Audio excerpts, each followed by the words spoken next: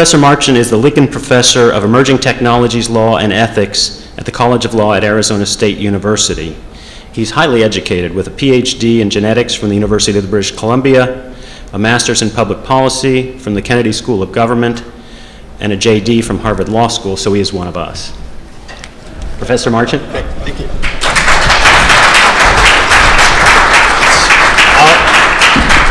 Always fun to come and talk about technology, and the technology doesn't work, so I'm just sort of waiting for my slides to, to get going here. Um, but, but before uh, they're, they're, up, I'll just uh, try and uh, fill space and, and, and get going uh, without them. But um, so glad to be here. This is sort of going to be a little bit different. You've had a, a fascinating meeting, I can tell from the program and from the, the events I attended today, uh, with all kinds of really serious issues. I'm going to be talking about serious issues, but maybe a, a, little bit different, sort of looking to the future, looking to the forward, uh, what's coming down the pipe. And, and the, the, bottom line is we're in a very, very unique uh, point in, in, human history where we're going to have so much change uh, occurring in the next few years because of technology, as well as other things like eco economics and, and politics and international issues are all changing our world too. But technology is changing just at an unprecedented pace, right, as, as we speak today. And um, so what I'm not going to, I'm not going to be talking to you really about science fiction. One of my uh, slides would say at this point, uh, quoting a, a famous science fiction writer, William Gibson, that it's too late to write about science fiction fiction. Every time he tries to write about science fiction now, he finds out we're already doing this. Uh, that there's so much happening so quickly that the, the, the, stuff we read as kids, even though we don't have flying cars still, uh, what we do have is, is really amazing. And at this point, I would show you another slide that would have a, a slide. Yep. Um, if you say next slide, he'll, he'll, okay. he'll do the. Okay, so first slide. Any slide? okay, all right technology. It's wonderful. So anyhow, here's William Gibson saying uh, you can't do anything uh, because it's already been done. And so what I'm going to talk to you about today is not science fiction. It's not what's in the future. It's what's here today. These are real technologies with real products, with real companies, and real court cases on everything I'm going to talk to you about today but it's just the very leading edge of what are going to be these revolutionary changes. They're just going to uh, throw our whole world upside down in the next five years, going to create all kinds of new challenges for law and governance as well. Uh, and uh, many of these are things you just wouldn't believe. So Joel Garreau, Washington Post writer, said in this book, the gulf between what engineers and scientists are actually creating today and what we'll find believable is significant. So some of the things I'm going to talk about are probably things you've heard about, but I'm sure uh, for each of us there's going to be stuff here you've never heard about.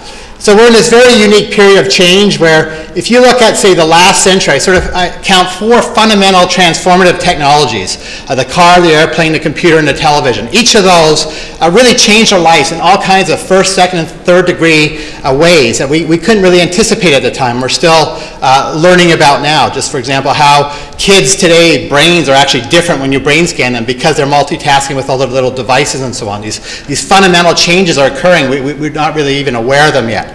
Um, what's unique about today is we're having equally numbers of transformative technologies, but not spread over 100 years, all right now, all coming at the exact same time, essentially, converging and overlapping in all kinds of interesting and unexpected ways. These have been sort of percolating in the labs for years. People have known they're coming, and all of a sudden they're hitting the marketplace, hitting reality, all this uh, decade as, as we speak.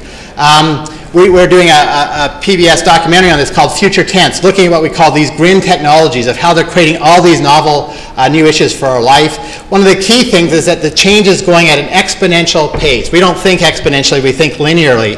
But these things are coming at just an unprecedented clip of how fast they're coming. You know, it used to take a technology 50 or 60 years to, to get to half the marketplace. Now it's taking one year. It's just so much quicker than anything we've experienced before. So we're in this period of unprecedented change, as Chief Justice Roberts said in his confirmation, uh, paraphrased by uh, Jeff Rosen. Politicians and judges, for that matter, should be wary of the, the assumption that the future will be little more than an extension of things as they are. We tend to wake up every day and think it's just the same as yesterday, but the reality is we are in a period of this immense speedy change. Um, and then Woody Allen changes them inevitable except from vending machines. But I'm going to have to get rid of this slide soon because vending machines don't have change anymore. So anyhow, so what I want to do is just go through a few of these technologies and then uh, try and end with just sort of the, some of the, the, the, key uh, sort of governance and, and, policy issues I think that this uh, unique period sort of is creating for us. So let me start with uh, genetics. This is uh, futures now in genetics. We've been hearing about this for a long time, but it really is here now. This is the number of commercially available genetic tests that are now available. It's just about hitting 2,000. That means there's, your doctor can go and test you for 2,000 things right now. They're commercially available. There's several thousand more in university labs. And it's amazing the types of things they can test you for. And it's not like it used to be, where we just have these few very rare genetic diseases that only a few unfortunate families had. These now affect us all. Every single one of us in this room has very important medical genes that you can test for now. These are just a few of the, the major disease susceptibility genes, that these are present in 1%, 5%, 20% of the population. There's several hundreds of these. That means everyone in this room has 20, 30, 40 or more of these genes that are affecting your risk of these major types of diseases. And if you want to know, you could find out, and other people could find out. And the question is, how are we going to use that information? What are we going to use it for? The government's goal is within five years, you'll have your entire genome on a chip for, for uh, $1,000. Uh, a lot of people think it'll be a lot shorter than five years. It'll be within the next year or two. It's already down to $50,000. Uh, Harvard's doing this personal genome uh, project where they're sequencing the entire genome of 1,000 people uh, this year. And the, the idea is you'll have your entire genome on a little chip. And, and, you can only begin to think about how that will be used in just a myriad of different ways, uh, for good and for bad. In the meantime, you can go and get tested right now. Uh, there's these, all these different companies. You have little spit uh, parties in New York City now where people are spitting into a little vial, finding out things about themselves. For $500, these are my genetic test results. Uh, it's 90-something different diseases they're telling me my genetic risk of.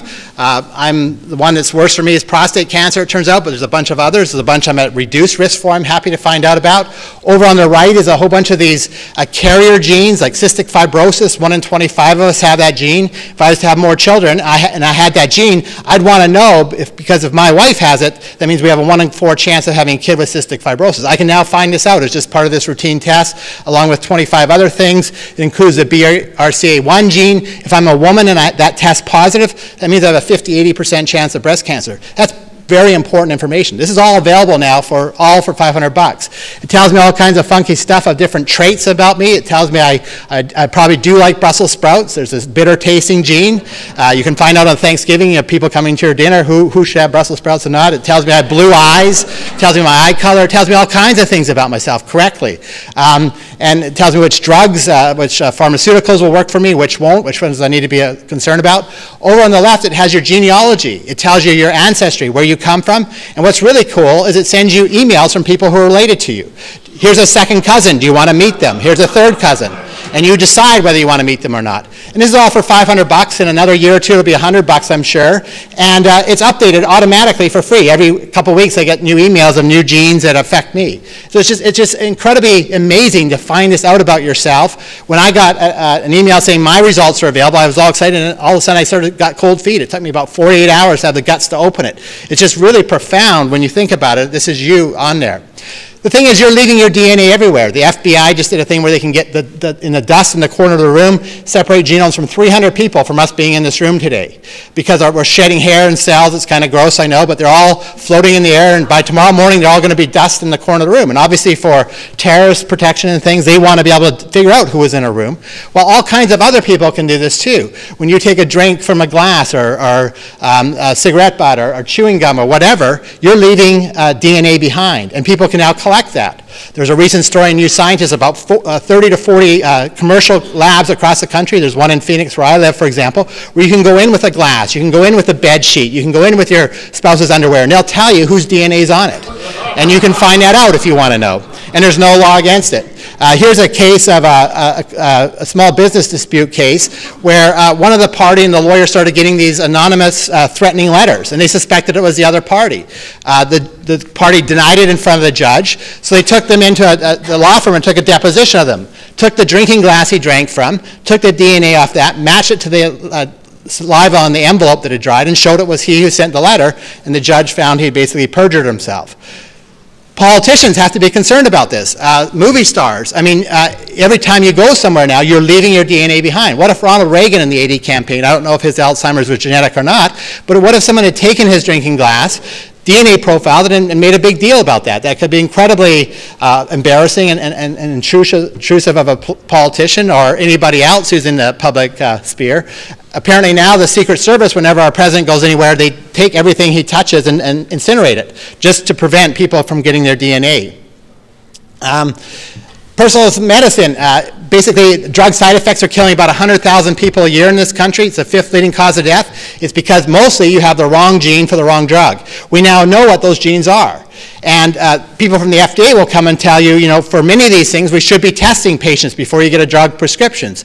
Most doctors haven't had genetics in medical school. They've only started teaching that recently. So what we're starting to see is just a wave of lawsuits coming right now, suing doctors when people are dying and getting sick, when you know there's a genetic test available to determine whether you should take that drug at all or what dose you should take, and doctors aren't doing the genetic test. One of the problems is health insurers aren't going to pay for the test. So you get a drug prescription, you go do your $10 copay, and you also get the $3,000 bill for the genetic test. The patients aren't going to be very happy about that, but we're, we basically got this technology suddenly in front of us, and we don't know how to handle it. And where it's ending up is going to be in the courts. We have cases now where people are, are making a murder defense gene. A case of this went to Phoenix, from Phoenix to the U.S. Supreme Court two years ago, and they ruled five to four he'd waived his right to, to introduce that evidence, and he was just executed actually two weeks ago. But he was basically adopted at age six months uh, into a, an upper middle class family, but came from a family of just everybody, every male was basically a, a convicted criminal or murderer or killed in a police shootout. He made this defense. He had a murder gene, and, and in this case, uh, they held it was he waived his right to introduce that in mitigation. It's interesting, it went to the Ninth Circuit, and the Ninth Circuit said the fact he may have a murder gene is all the more reason to execute him, maybe not less, because he can't control himself. So it's hard to know how this will come in. But there's just a case in Tennessee two months ago where it was a horrible murder, uh, completely pre-planned, uh, brought as a capital murder case, and the defendant got himself genetically tested, showed he had a gene that can predispose you to violence if you've had a bad upbringing, and the jury, instead of convicting him for a capital murder, convicted him for manslaughter instead. So this is already being used in, in court cases here in the United States, and I'm aware of about another 10 cases at least in the United States where this defense has already been used. So this is here today, people are using it. We can have pre-implantation genetic diagnosis where you can take an in vitro fertilized embryo, pick off one cell, it doesn't seem to affect the rest of the embryo, and, and test it for any of these 2,000 traits. And you do that with all 10 or 20 embryos you get, and you decide which kids you want. Do you want the boy or the girl? Do you want this color hair, this color eyes? Uh, and all kinds of traits you can look for. Disease susceptibility genes. People are now using this, example, if they're, if they're deaf, to select for other deaf embryos. Um, and now there's genetically available tests that claim to test for things like uh, athletic ability that are commercially available, uh, intelligence that are commercially available. And you can now start testing your embryo for these traits. And over 10,000 babies have been born in the United States using this, and we've never had a congressional hearing on this. This is designer babies are here today, and if you want to, you can uh, do it. China is not waiting. They're now setting up these camps of kids who test very strong on these genetic tests. They're picking them out in the first year or two and putting them in special camps as leaderships uh, for their future leadership. So this is happening uh, today. So that's genetics. Another huge technology is surveillance systems. We have all kinds of funky technologies. I love Smart Dust is my favorite, uh, but are basically can uh, tell where you're at, uh, uh spy on us when we're not uh, where we are. Uh, I'm going to talk about GPS. This is using satellites to determine where you are. Uh, there's a E911 rule that requires basically all cell phones to tell where you're at. So as we're sitting in this room, unless you got the battery out of your cell phone, even if it's turned off, a record is being kept of your location today, right now, and it's actually being kept for many years in, in, these, uh, uh, in the service providers' databases. And the question is, who gets access to that information? How could it be used? So companies are using this in a positive way to, to, to do uh, services, what are called location-based services. There's just all kinds of ingenious new products coming out. Uh, my favorite one is these friend finding services are just starting here, but they're very popular in Japan and Korea, where basically um, uh, younger people primarily are putting into their cell phone what they're looking for in a potential mate. And when they get within 50 feet of a match, there's a distinctive ring goes off the room, and you look around to see whose phone went off. And hopefully it's not three or four of you. This is something funky that uh, a lot of young people are using this service called Loopt, where you basically put all your friends' coordinates, their GPS coordinates into your cell phone, and you can tell in real time where they are. 24 hours a day, seven days a week. And you can see, for example, when you go to the mall, who else among your friends is there and where are, where are they? Who's at home on a Saturday night, doesn't have anything fun to do? Who's sleeping at whose house? And accordingly, I was talking to some uh, high school students of, of, a colleague of mine was saying that it's really cool to ever, I mean, it's seen as really uncool to ever turn it off. You can turn it off so they can't track you, but that's a, a mark of you're uncool. So the, the social custom is you leave it on all the time, which means all your friends know where you are at any second within a few feet. Most of us find that creepy, but a lot of young people, this is the way they do it. There's all kinds of these services now on Facebook, Google, and so on that are basically tracking where you are, and not only tracking where you are, making it, allowing you or, or, or, or making it so your information goes public on Twitter or whatever uh, service you're using where you're at. And you're making this publicly a declaration. So now there's these people who are using this to rob you. When you show you're, you're in Hawaii, they're coming to your house and robbing you. And there's just a, a ring of people in New Hampshire, for example, just got uh, uh, caught basically using this technology to rob people who aren't home. This is being used to track all kinds of people. Companies are using this to track their employees, greatly increasing efficiency by, on average, about 30%. It turns out a lot of people, when they are in, in various types of, of, trucks and so on, spend a lot of time at the bar or restaurants. And uh, when they know they're being watched, they, it changes their pattern a lot. So you get a lot more efficiency, but it also creates a sort of feeling of, of pressure. I, I, heard an interview from one uh, employee saying, you know, now when I go in to get a Coke and stop to get a Coke and there's just three people in front of me in line, I get really annoyed because I know my employer's watching and say, why are they in the convenience store for 10 minutes? What are they doing? So you sort of feel this constant watching of you kind of thing. Uh, parents are using this to track their children. You can do what are called geofencing, draw a line on a map. If your child goes outside of that zone, you get a real-time phone call telling you in real time they're no longer in that area. Or you can set the speed limit. You can say if they're going above 60 miles an hour, I want a real-time phone call uh, telling me they're doing this. Uh, one father who keeps track of everywhere his uh, teenage son goes just successfully defended a, a, speeding ticket in California because he has complete records of where his son was and how fast he's going and, and challenged the speeding ticket to say he wasn't going over the speed limit at the location the police officer said he was. Uh, spouses are doing this to track their partners. Uh, um, and then there's a huge problem of GPS stalkers. All kinds of people are now using this to track people. You can buy a little device and put it in their pack sack or their suitcase or their uh, trunk of their car. Uh, Albert Belle, the, the, the former all-star baseball player, just got criminally charged in Phoenix, where I am, where he was basically broke up with his girlfriend, and everywhere she went, there he was. Whatever party or restaurant she went to, he would somehow show up. He, she went over a speed bump, and something fell off the bottom of her car, and it was this little device, and she looked into it, and sure enough, it was a GPS device. But people are marking these as a sharper image, you know. Uh, hidden wireless GPS secretly tracks anything. Um, I can't even read the writing there, but you know, your kid, your spouse, whoever you want, you can basically track them secretly. Here's a guy who talks to the New York Times. He says he's got one of these things. He's intrigued by the possibility of stashing one of these in the, in the uh, trunk of his wife's car. I'm not expecting or, or hoping or wanting to find anything, but I just like to explore the possibilities. I'll tell her about it later, and then he tells the New York Times reporter this, right? So I'm sure she, her, she might have probably got a few phone calls. This has become a huge legal issue.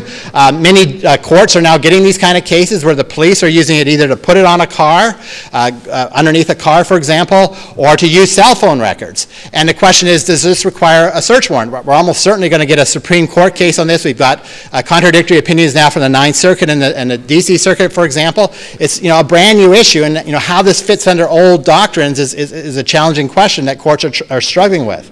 Um, last year, Sprint said that they got 8 million requests from police alone to, to ping uh, users, to, to, to, basically tell the police where a user is at any one time. Um, it has all kinds of uh, uh powerful uh, uh, ways of solving crimes. One innovative way now is if a crime is committed on a certain street corner, they can go and ask the cell phone providers, tell us who of your subscribers is on that street corner in that one hour period, and then go uh, interview those people to see if they're either suspects or witnesses. So just incredible, powerful technology to basically find where any of us are at any time in the last few years. And you can just imagine the, the uses of that, the beneficial uses, but also sort of some of the more scary ones. All kinds of new applications coming along. A lot of the car insurance companies now are going to give you a 10% discount if you agree to be tracked.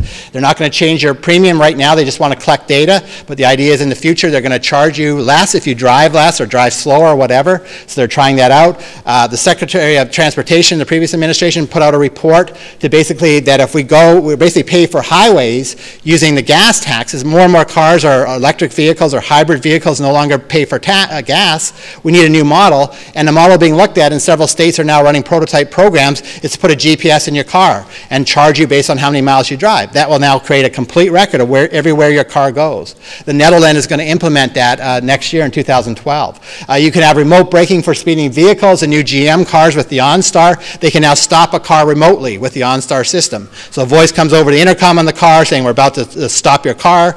Obviously someone's stolen it or something like that. And please pull off the road. One of the problems is a lot of these criminals don't pull off the road. They just keep on driving. And then you have to stop them in the middle of a highway. Um, so, you know, there's documents that will only work at the locations you, only can be viewed at the location you specify.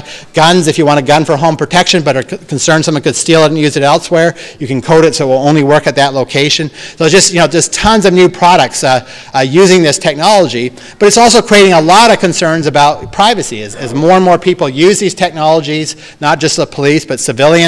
Uh, is this the world we want to go into? And what's really fascinating about privacy law, of course, is both the common law and the constitutional standard is based on our reasonable expectation. So if our expectation goes down, so does our legal protection.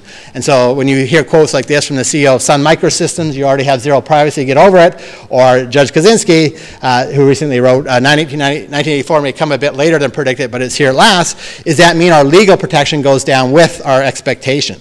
Uh, an interesting question.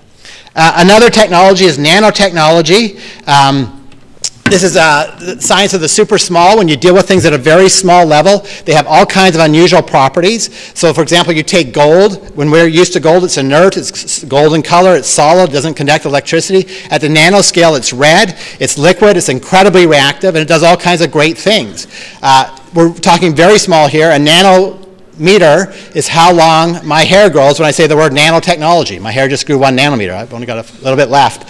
Um, so it's very, very small. We're you know microscopic small, but things do great things there. And there's tremendous excitement about this. Uh, both sides of the political aisle of, of, Democrats and Republicans talking about this being a real future of our technology. Some estimates from both Wall Street and the government is that this will be a, a $3 trillion industry by 2014. That's about 15% of the world economy. What's amazing about this technology is every major corporation in America essentially is now using it for all kinds of different products. It has just an immense number of applications. There's over a thousand confirmed products already on the market, including better uh, golf clubs and, and, tennis rackets, but some other really funky stuff too. Um, stain-resistant pants is one of the first ones on. That was nanotech. You can now buy socks that you can wear every day for 30 days, and they don't smell. My students like those. Uh, self-cleaning glass. Uh, people are talking about your windshield wipers will be obsolete in two years. This glass cleans itself automatically, so you no longer have to wash your windshield or your, your shower doors or whatever. Uh, there's uh, these food spoilage systems on, on the market this year. Smart Dust, 100 companies are uh,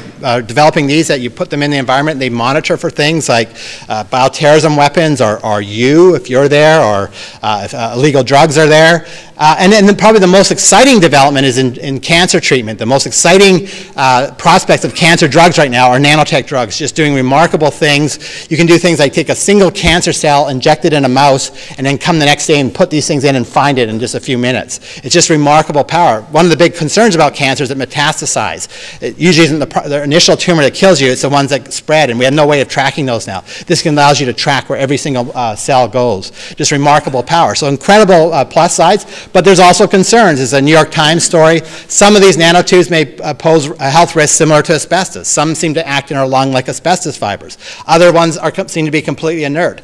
We have no way to predict which are which right now. There's 50,000 different versions of carbon nanotubes. Some to be, seem to be completely inert. Some seem to be like asbestos, and, and we haven't tested the vast majority of them. And none of the traditional methods we use toxicology with work for nanoparticles. So we're completely up in the air, but we have huge potential benefits and, and also possible huge risks. And so what do we do about this? This is one of the big challenges.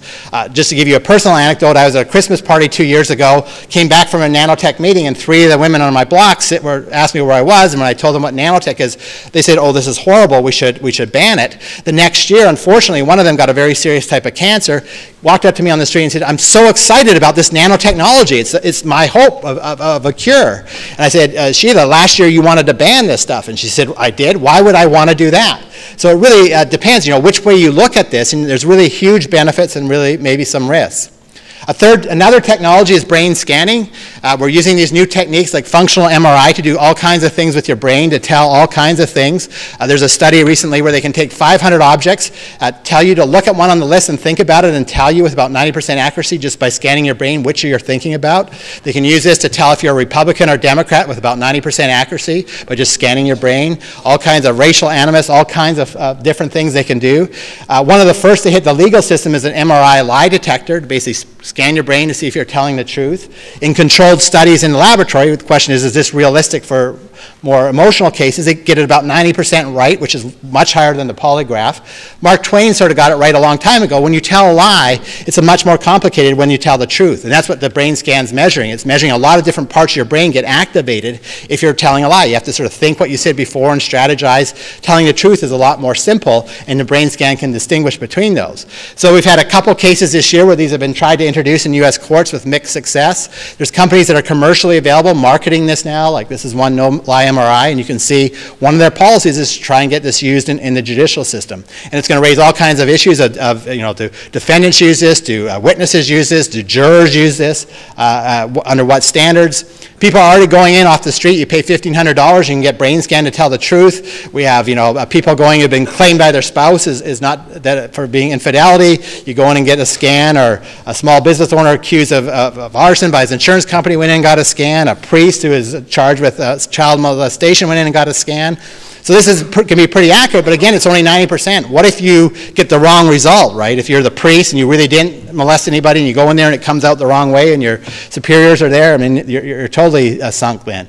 So it's a very interesting technologies. It's also now being used in all kinds of criminal cases. I'm uh, working on a paper right now. We now have 150 cases in the United States where this has been introduced or tried to be introduced in criminal cases to argue some kind of diminished capacity on behalf of a, a criminal defendant, mostly in the mitigation stages, getting all kinds of different responses from courts and juries all across the country. Here's our future, your politicians or your city councilors or your political debates. Everyone's going to be hooked up to an MRI brain scanner and you're going to be able to see if people tell the truth or not kind of thing. But again, this amazing technology just come up in the last couple years, all kinds of applications. Then my final big one is, uh, is virtual worlds. Uh, this is one Second Life. There's about 13 million people who use this, many 20 or 30 hours a week. I don't know how they get the time. But th this isn't, this isn't a, a, game. This is doing real stuff in there. Here's Judge Posner with his avatar giving a speech in Second Life recently. There's all kinds of speeches and poets and musicians who perform in there. Political campaigns have things there. Companies have sites where they do a lot of their online meetings now. Uh, and there's all kinds of illicit things going on there as well. What's really important about it, though, is they have their own currency currency called a Linden dollar that you just press a button and it automatically converts back and forth to your bank account or credit card. So this is real money we're talking about. Uh, some people, uh, uh, a couple of years ago, there started to be these ATMs popping up, and one guy uh, owned all these ATMs that people put their Linden dollars in, and one guy just closed his account and walked away with $700,000 US dollars worth of money because the FDIC doesn't regulate banks in Second Life yet. Um, all kinds of, this, this statistic just staggers me. People spend significant amount of time in there, which is a lot of young people. 53% of the females say their best friend in life is another avatar. They have no clue who that person is, but that's their best friend in life. So people are basically living their lives in these virtual worlds. You now have a Second Life Bar Association. You have some lawyers who are actually practicing in Second Life. Uh, you, you have a, a, bunch of cases in U.S. courts now from Second Life. So this is real stuff. Uh, here's a, a, fascinating story from a Wall Street Journal about a, a, person in Phoenix a few years ago. He's not doing so well. He's got diabetes. He's working in a call service center, not a very glamorous job. He comes home every night and goes on Second Life and has become this studly looking character there and has opened all these businesses, strip clubs basically. I don't know why people would pay to go watch a digital avatar strip, but apparently some people do.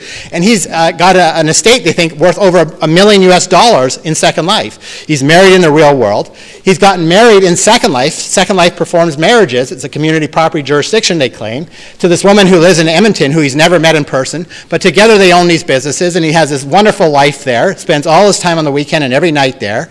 Uh, and his wife is saying, What gives? I mean, uh, he, she went up to him and, and said, You know, spend time with me. He says, This is where I now live. If you want to deal with me, come here. What if he was to die? You know, he has a million dollar estate in Second Life. Who gets that? His common law, his community property wife in Second Life, who lives in Edmonton, or his real world life? Uh, some judges are going to have to decide this someday. All kinds of other issues. The, uh, uh is this money taxable? The IRS is doing an investigation of this, jurisdiction, all kinds of these other things. But, you know, this whole issue of people spending their time in Second Life. The philosopher uh, Robert Nozick asked this many years ago. What would this mean if people start to do this? Well, that's what they're starting to do now.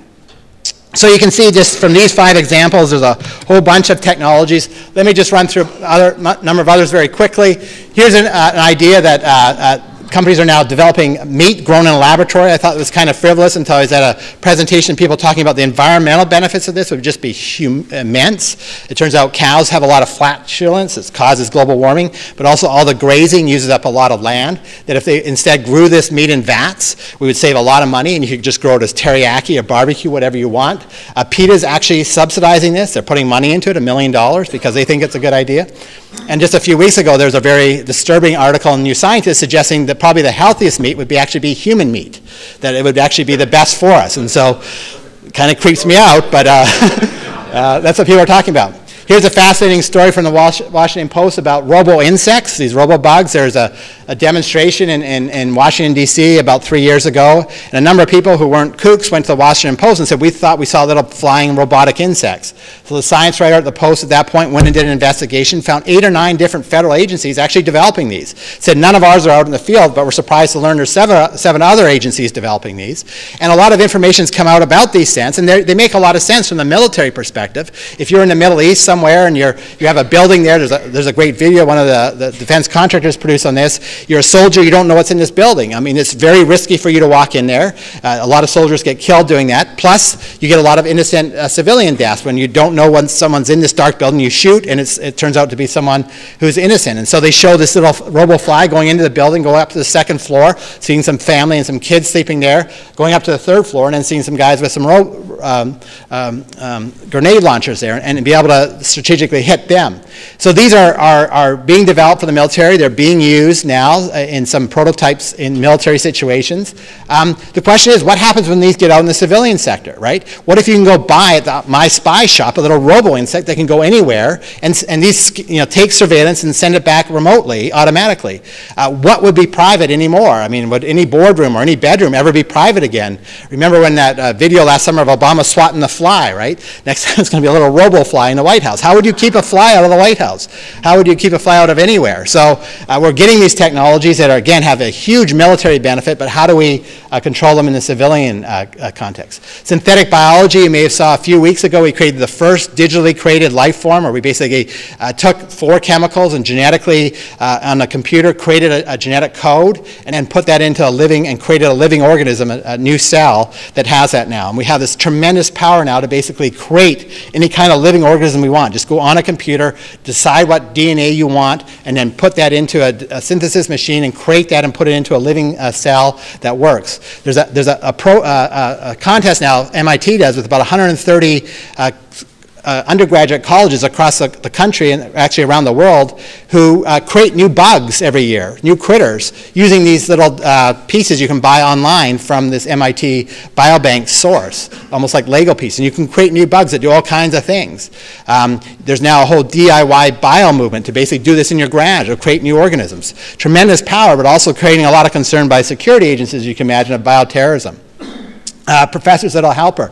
I don't know if any of you have come across this now, but in, in universities now, a lot of our students are now taking cognitive enhancing drugs. Provigil, uh, Adderall, Ritalin. Uh, I asked my law, science, and technology class, 100 students, how many of you know someone in this uh, school taking them? They all put up their hands. Um, uh, many of the students that come to me and say they, they do take them they, to, to, help them study better.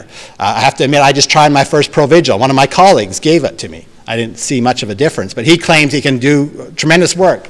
This author in Nature said, you know, I got much more done in one night trying this than I do in a whole month. Uh, so this is just proliferating in, an academic world, and I think a lot of uh, law firms maybe of young associates have to uh, use uh, long hours. I've heard stories of them using this. These are all, uh, you know, not prescribed for this purpose. But the number of, for example, Provigil prescriptions, it's approved for narcolepsy. There's 10 times as many prescriptions in the United States right now as there are narcolepsy people. So a lot of these are being prescribed for other purposes, and people are getting them. You, I ask, I ask my students, where do you get them? They just say, go into Hayden Library. Apparently, you walk in, there's people selling selling them on the black market. So we're quickly moving into this era, of, and it creates all kinds of equality and, and equality issues that some students have these and others don't. The students who don't are getting stressed out. Maybe I need to take them. We don't know what the health impacts of this really are, uh, so there's concerns about that all kinds of different types of uh, human brain-machine interfaces, um, where you basically put machines into your brains. There's people who can now, quadriplegic can now compose and send an email just thinking about it uh, with a remote connection to a computer. There's computer games on the market now where you just put a little helmet on your head and you control it all with your thoughts. You don't have to touch anything. You control the game on the TV. Um, there's these uh, um, deep brain stimulation being developed for things like Parkinson's and, and other types of uh, diseases. And you basically got a little device that you control here, and people have found that it basically can control their emotions. So if they're feeling kind of down, they just turn the button, they feel better. And people are talking about doing this for all of us. You know, you, if you're sort of down that day, you turn up your device a little bit. If you're down, you turn it's just a, a little probe in your brain. Um, there's a recent report I was reading of a woman who had this and it's somehow stimulating sexual pleasure in her. And she's become addicted to it. She does it something like 14,000 times a day. She's had to quit her job. Her fingers are all calloused and, and cut from constantly stimulating herself, and she's become addicted to this and uh, completely a, a, recluse from society because of this. And she asked the doctor to take it out, and then she demanded it go back in. Uh, and there's been a number of examples like this that were basically got this power to now control our mental capacity, and, and the question is, do we want that? All kinds of funky things with robotics. This uh, yellow one here is in Japan. It babysits your children. You can uh, hire this uh, robot to do this. Um, we have uh, autonomous lethal robots now that will shoot uh, autonomously. And, and, there's one at the Korean border, for example, that at night it becomes autonomous. So if a poor little deer walks along, it gets shot by the robot. Um, hopefully pe not people. People now want to get married to their robots. Um, all kinds of crazy things. 3D printers. This is a fascinating new technology where you can now print at your home. You can commercially buy a 3D printer and print all kinds of devices right in your home of 3D objects. And it's getting more and more sophisticated what you can produce. You just design it on your computer, send it to your printer, and it prints it. A device, an object right there uh, in your own home. And these are uh, now for, available for several thousand dollars and going to come down quickly. Geoengineering, you've probably heard a lot about, that we're basically uh, uh, uh, be able to do things on the earth. All kinds of genetically modified animals and plants. We're just going through the first genetically engineered um, fish coming onto the market. We have fluorescent uh, rabbits. We have uh, blue roses now, and we're just getting started in that. Pervasive computing, where you have all kinds of uh, technologies basically interacting with you in all kinds of ways. My wife just bought a, a, Mini Cooper. When you go by the Mini Cooper uh, billboard now, it pops up your name and said, hello, new car owner, uh, Don, or this, this ad is Kate. It recognizes you and, and, and sends a message to you. Um, you have these little VeriChip implants, that a, an RFID implant you can put into your body to have your medical records, or it can be used for a lot of other purposes. There's some bars in Europe, for example, that they put it in their patrons and you get a free drink when you walk in uh, this restaurant. They recognize you're there. Um, Large Hadron Collider, I just sort of threw this in as a lark. This is this big thing that got turned on in, in Europe. You may have heard about this. What was sort of interesting about this is that uh, there's this claim that when they turn it on, it would destroy the Earth. It would turn us all into a black hole and we would cease to exist. Um, and uh, they had a story on NPR about it. It was kind of interesting because they had the scientists saying, you know, I don't think it's really likely, but there's a significant probability this could happen. And the, the scientists on the other side said it's actually extremely small probability. And you really want them to say zero, right? But from a scientific perspective, I guess you can't do that. But anyhow, it went to the European Court, uh, Court of First Instance, and they put, basically did a, a, briefing order that would require the briefs to be filed about two months after this thing got turned on. Uh, and so the Earth would either exist or not at that point. And then finally, uh, uh, negligible senescence. There's, there's people who are doing this work to basically extend lifespan uh, dramatically with just really interesting science. They're doing this as legitimate science. It's at Cambridge University, doing all kinds of fascinating things that were really unthinkable a few years ago. And this one guy, Aubrey de Grey, who heads this center there, has said the first 150-year-old has probably been born, and the first 1,000-year-old probably 20 years younger than the first 150-year-old. Uh, create all kinds of legal implications, particularly lifetime appointments for judges if that becomes the case. So we have just all these amazing technology. That one's a little bit more science fiction, but it, there's real drugs, things being developed with these, these projects. So just let me conclude by just talking about some of the impacts. These things are all coming at the same time. Dramatic changes in our life, our society, our, our legal system, and they're all hitting in the next few years, all at the same time. And that's sort of the remarkable period we're in it's really going to mean the way we traditionally regulate is completely obsolete. This idea of sort of top-down command and control regulation with this expert agency, so-called, who's basically going to think about this and pr produce regulations, it just won't work. I mean, by the time they propose regulation, the technology is going to be gone and by them. So to the extent we have oversight and governance, I think we have to look at completely different types of models. I think this is an interesting one in nanotech where you have a major company partnering with an NGO, environmental group, and together sort of creating this partnership to screen products and put them through a, a battery of tests no government involved at all. This is, you know, done much more than government's been able to do because of how fast this is moving. Uh, reality is that courts are often going to be on the front line because our legislatures and our regulatory agencies won't have time to deal with this. For example, on the cell phone data issue, all the cell phone providers went to the FCC in 2002, asked for some clarification of what kind of data they should collect, how long they should keep it for, who they should give it to, can they sell it?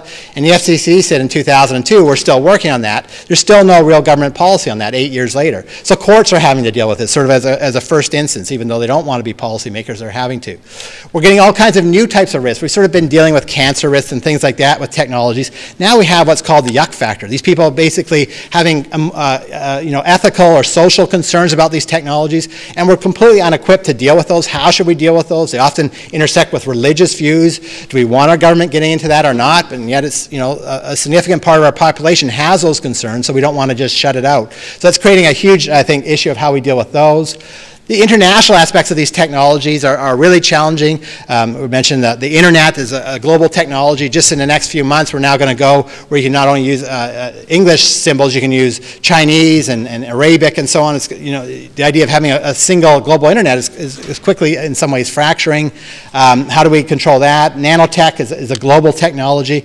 Um, you know, more and more, if we want to deal with any of these technologies, we're going to have to deal with it on a global uh, level, which is going to be extremely hard. I mean, it's hard enough just figuring out what we don't want to do in the United States, to have to bring in all these other countries is going to be very difficult.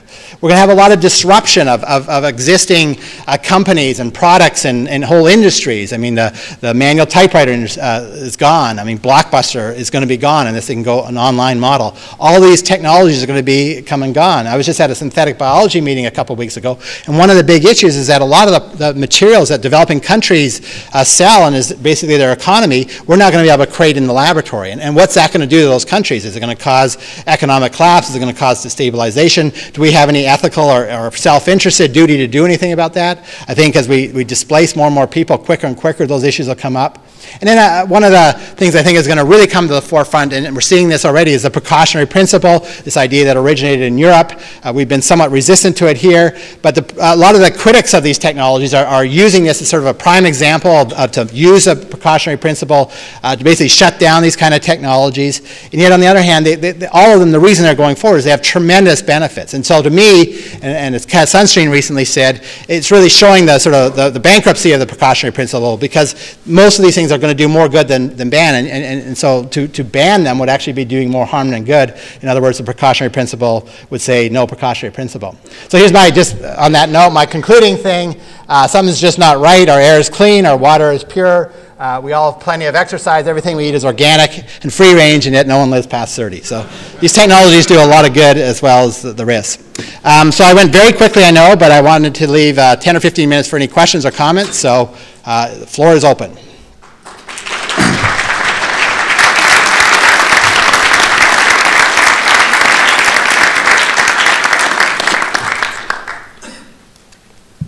Thank you, Professor. Very interesting presentation. It's uh, somewhat exciting and also very terrifying to hear all of this. Uh, my question is, how will the law keep up with all of this? Are you aware of any courts or legislative bodies starting to implement uh, procedures or processes for, for uh, keeping up the law a, with the technology? It's a, it's a great question. I just got an NSF grant called the Pacing Project to do that exact issue to show we have a huge problem, that there's just no way our, our three branches of, of law, uh, legislatures, regulatory agencies, and courts can possibly keep up with these technologies, how fast they're going.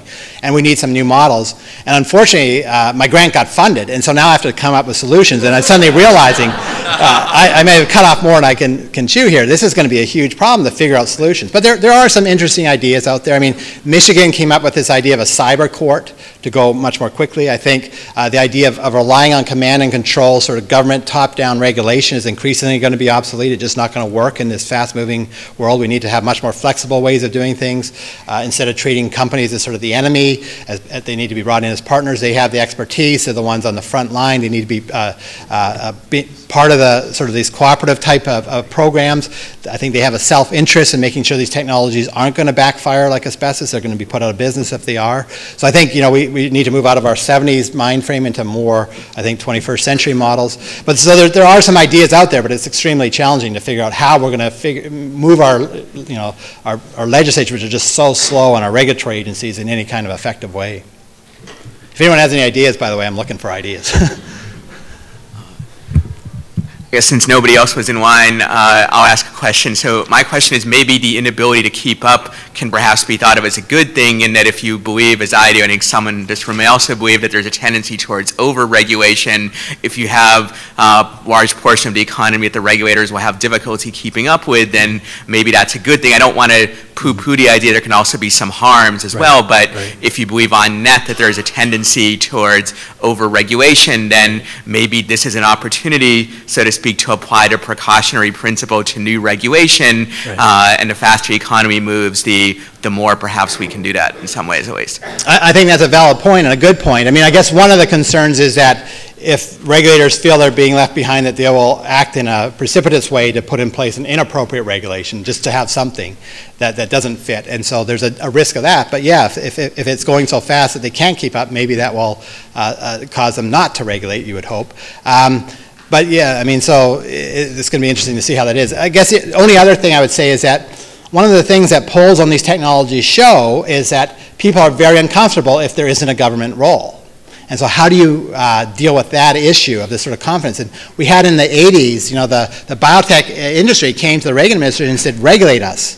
We are concerned that, you know, all these states and uh, tort lawyers are going off on us. We want sort of a, a reasonable set of regulations we can follow, and we're prepared to do that. I think it'd be very hard to put in place reasonable regulations on these technologies we don't even know what they are. But there is that aspect as well we got to think about.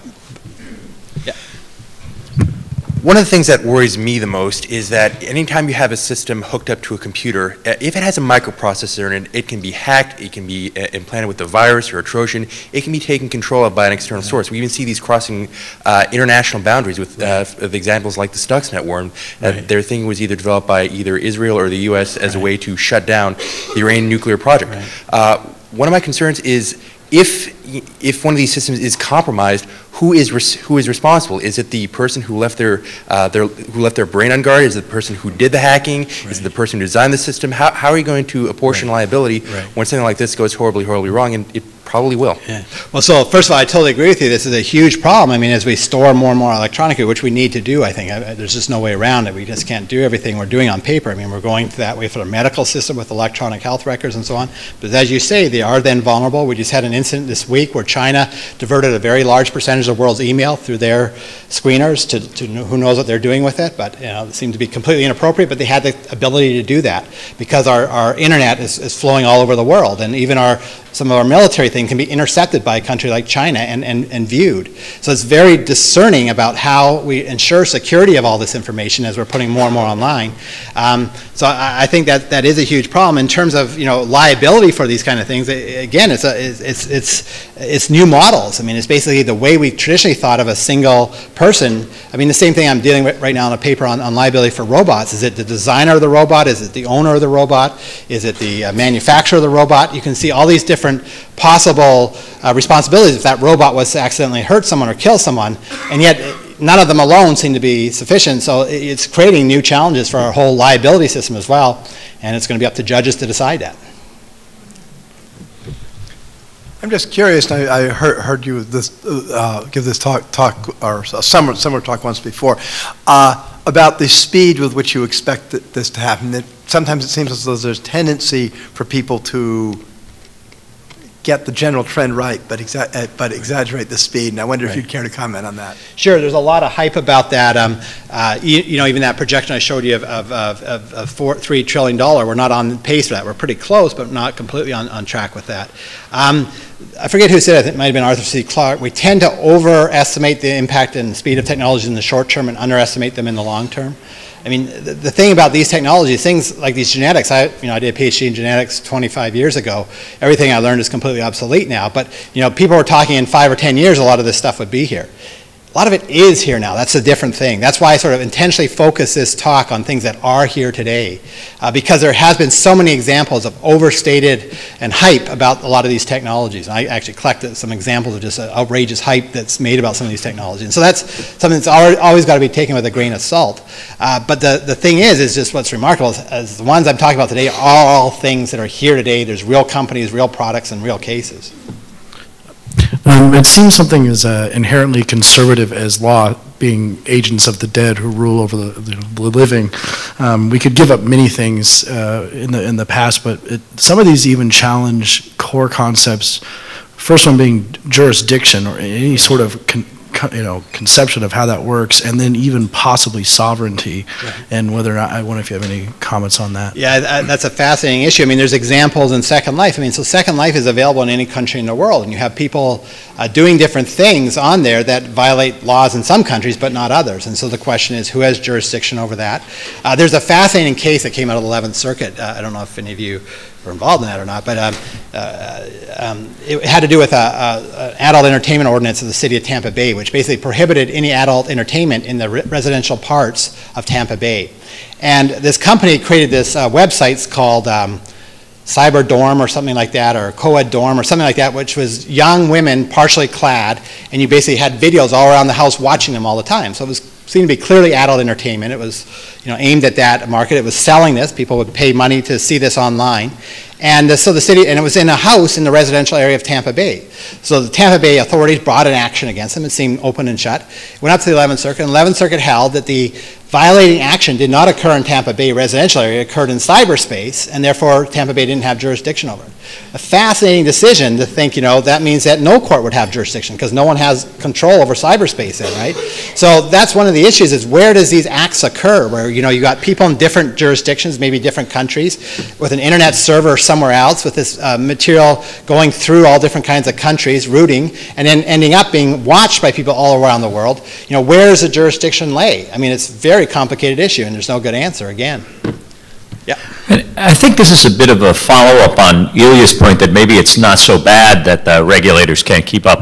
Uh, And in that context, I wanted to point to some things that were considered to be, you know, very fastly emerging technologies that created, in a sense, their own self-ordered systems of law that we then came to adopt. For, I'm thinking, for instance, water law in the West, mm-hmm. I think is a good example. So it didn't move at precisely the same pace, but perhaps an- analogously to our understanding of how fast the common law formed, say, compared to wa- water law there. Right. And, and so, and, and I think also to, to that, that kind of self-ordering perspective that people have brought to the cyber community, for instance, when they decide, uh, or rightfully or wrongfully, that Google's violating their privacy rights, so then there becomes an individualistic or private movement to abandon Google Right. or to, you know, to bring pressure for those kind of things. And I, and I tend to think in a fast-moving uh, society, yeah, you, you could get it wrong, Right. but I'm not sure that, that, that the dangers are such that the regulators have to jump in. Right.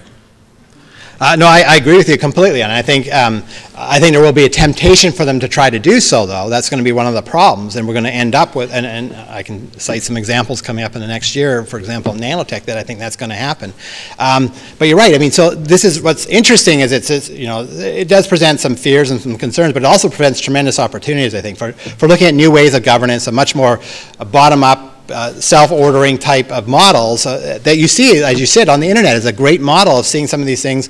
You know, I haven't figured out how to really work Second Life yet, but some of my students go on and they tell me about these democracy islands and so on, that basically these ground up, creating new ways of structuring their relationships without some top-down government telling you how to do it. Of, and if you don't like it, go to a different place, right? And so there's some really interesting opportunities here as well as some risks, I think. Thanks.